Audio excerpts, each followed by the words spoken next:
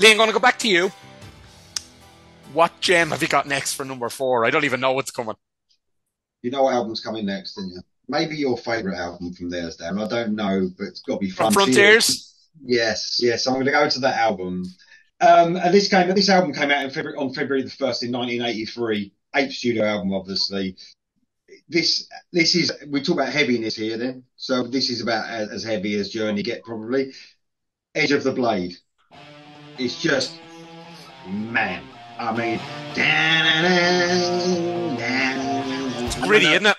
yeah, and then then drums kick in and the synths kick in, and then you basically get this. This was a B side to Faithfully, by the way, and I think I heard this. That was the first time I heard. I didn't know that, was it? I was just, yeah, I was just checking out. I mean, it can't get a lot differently than that, can you? Good Um, Oh, God. yeah, um, but the trade-off between Schon and Perry got him just like soaring them guitars, and then Perry just matching him. It's just amazing. Edge of the Blade is probably again around that time the heaviest they probably got. They had it nailed. From Yeah, Escape pushing it to Frontiers, they went, let's push the envelope even further.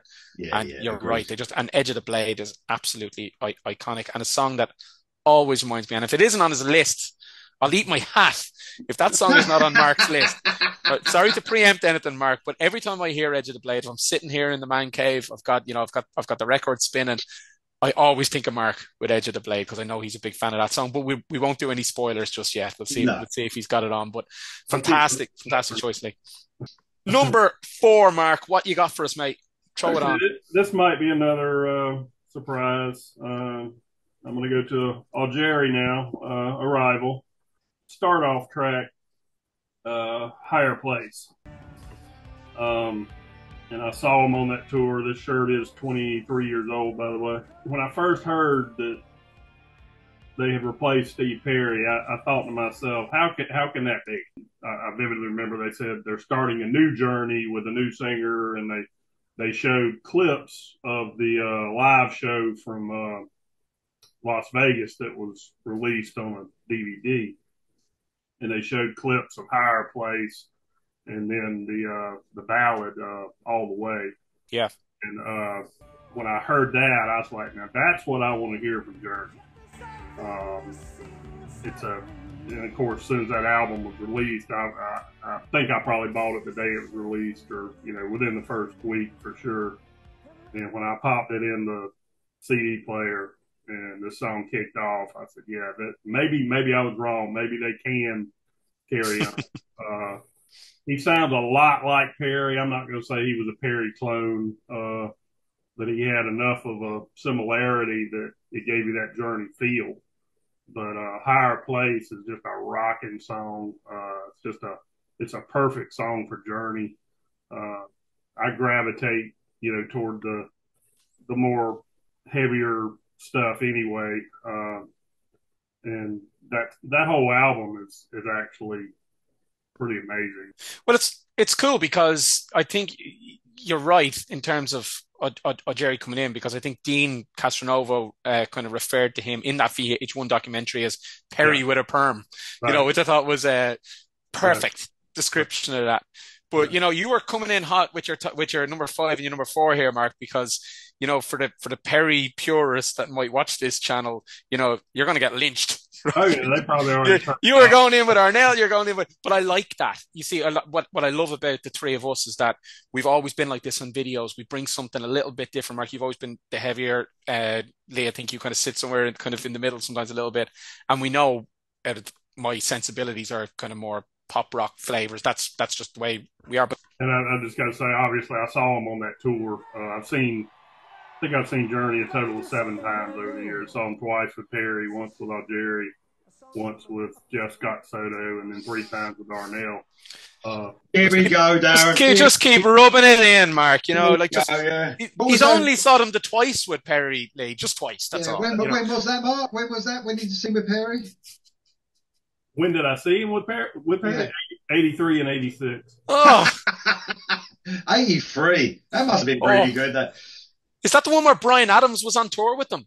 Yeah, yeah. He, Oh, he opened the show. Yeah, I saw him on my birthday, as a matter of fact, my, four- my 14th birthday in 1983. And uh, that was a, a life changing show.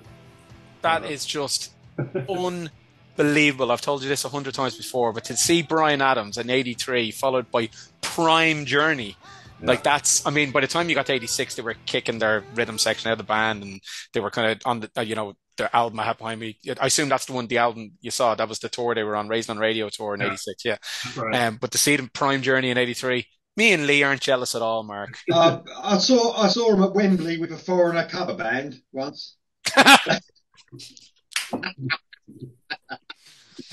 Take Yeah, it back, Leigh. I'm more jealous of you. Um, number four for me, I'm going to go. As we know, I could I keep it a bit more uh, standard, but number four for me, I'm going with Open Arms from uh, 81's iconic record, as you mentioned, Leigh. Um, Escape. Just it's my first ballad on the list. You, you guys know I'm a big fan of the of, of the ballads, but you know you've got you got John Cain in the band now. Rolie's gone, who I mentioned on, on my last choice. Uh, Gregg Rolie's out of the band, and John Cain comes in, and we know that John Cain can write a song. Now he reuses a melody here that was um, left over that he I think he played it for John Waite in his previous band when he was in the Babys, and John Waite said, eh, "It's not really going to work for us." Perry takes one listen to it, one listen to this opening piano melody, and goes, "Well, tough luck on John. You know, this is for us. This is this is great, and what an absolute incredible." Ballad this is open arms. I mean, it's just you know the way we talk about songs that you just you don't get sick of listening to. I don't I don't think I'd ever get sick of listening to this. You know when Cain came in and him and Perry started you know really hitting it off in terms of being able to write a ballad. I think there is a point in Journey's career here where you know the ballads are starting to creep in more. Schon, who's up there, is one of the best guitarists of all time. He's now off the side of the stage going, you know that emoji. What do I do? But you know, he did say. I, I, I saw in an interview with Schon. He did say, you know, that yeah, he wasn't he wasn't able to play the kind of stuff he wanted to play, but more women were showing up to the gigs, which is great news. You know, Yeah. so uh, you know, with Perry with the good looks and uh, the ballads, you know, it's a recipe for you know, kind of uh, you know, the that kind of swing. But yeah, there was a trade off there. You know, you were alienating some of the older fans. We mentioned that them first three albums, you know, when when Rolie and and and Schon started this band, they were coming out of Santana and they were going into that fusion kind of rock sound. But when they go in this direction, it didn't hurt the bank balance. So that's my number. That's my number four. Open arms.